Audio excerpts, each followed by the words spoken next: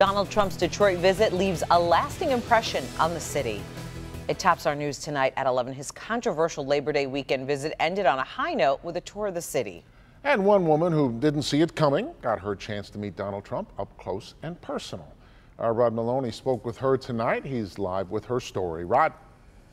Well, Steve, we're in South Deacon in southwest Detroit, and behind me is a very famous Detroit home. It's the boyhood home of Dr. Ben Carson, famed neurosurgeon, former presidential candidate, now Donald Trump advisor. And it was here, right on the sidewalk here in front of the house, that the spotlight of the presidential race shone brightly.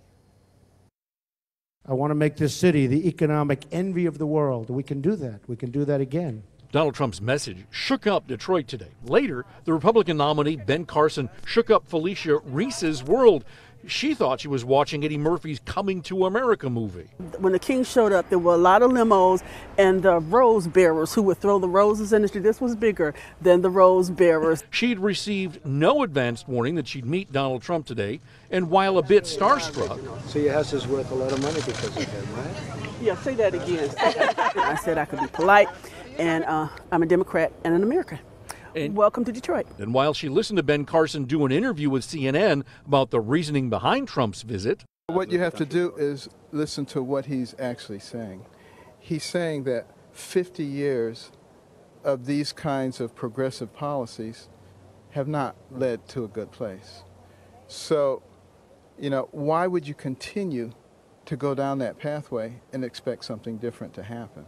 She was not swayed by her brush with celebrity. My son and I are going to vote in November, and I believe that we will have a Democratic president and hopefully a Democratic Congress so somebody can actually vote for a bill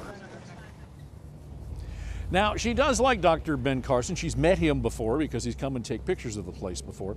But uh, Ben Carson and Donald Trump packed up in the car and have now headed out of town back to the national race. And so, uh, for one day, the brush with fame was interesting, but not necessarily persuasive. Back to you.